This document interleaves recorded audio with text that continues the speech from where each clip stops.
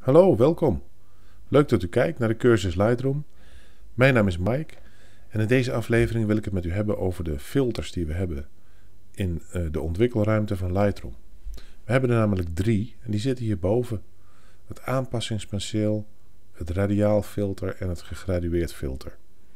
En ik bespreek deze laatste twee in de volgende aflevering, want in deze doe ik alleen het aanpassingspenseel. Die andere zijn hetzelfde, alleen de selectiemethode is wat anders. En normaal gesproken zult u, denk ik, ook het meest met het aanpassingspenseel werken. Dus uh, daar gaan we mee beginnen. Ik klik even de linker zeilpaneel, oh, sorry, het zijpaneel even weg. Dan is de foto lekker groot.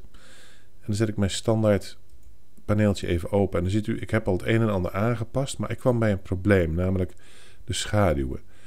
De personen zijn hier vrij donker, hè, zijn eigenlijk niet goed, goed belicht, want de licht komt eigenlijk van de andere kant voornamelijk.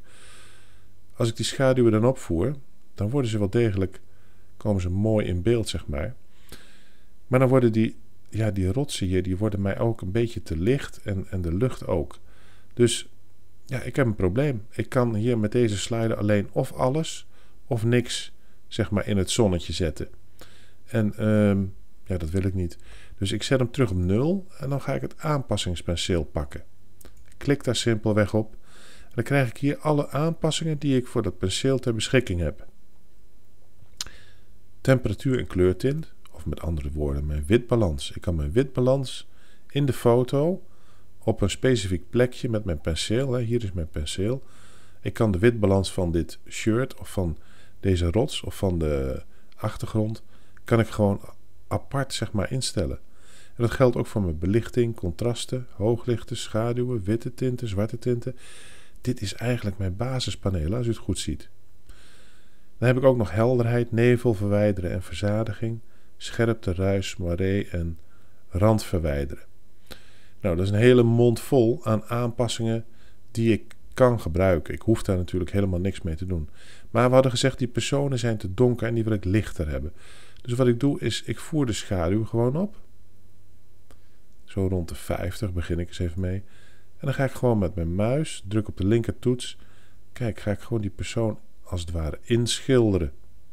Met het effect schaduwen plus, wat is het, 53.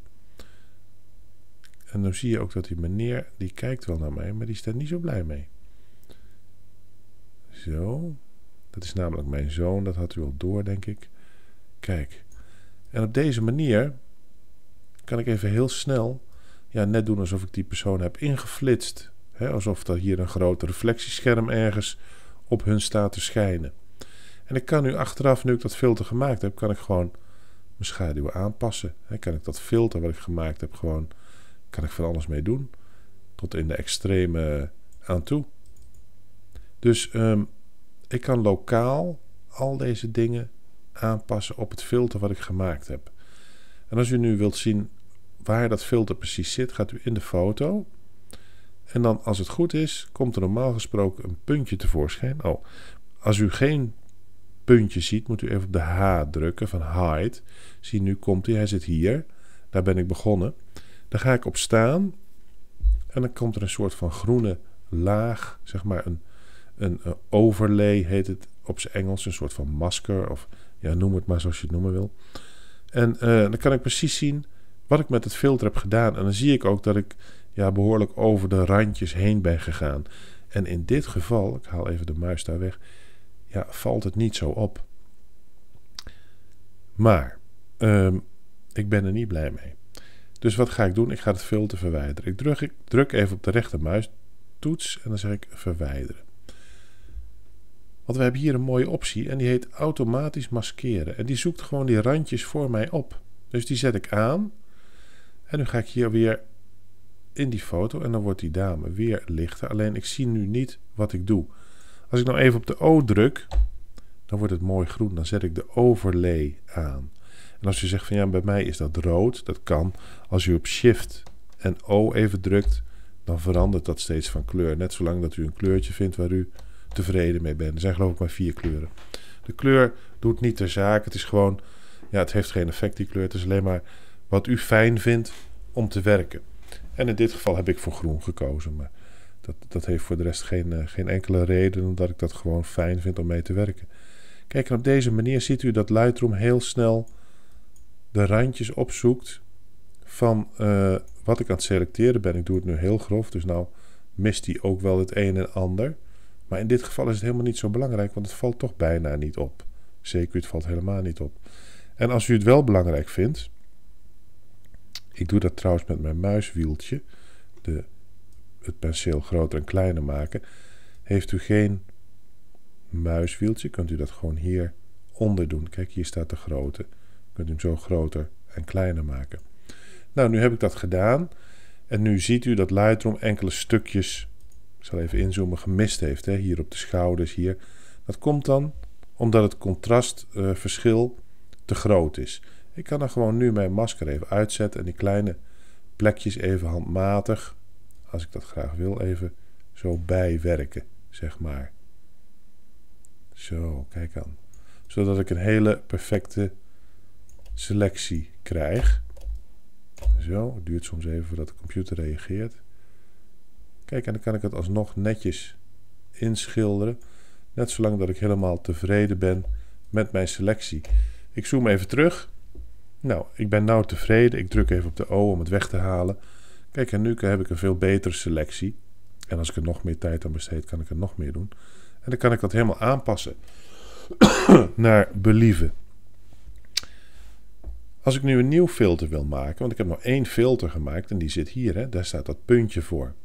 Ik kan hier gewoon op nieuw drukken en dan kan ik meteen een nieuw filter maken, naast het filter wat ik al heb gemaakt.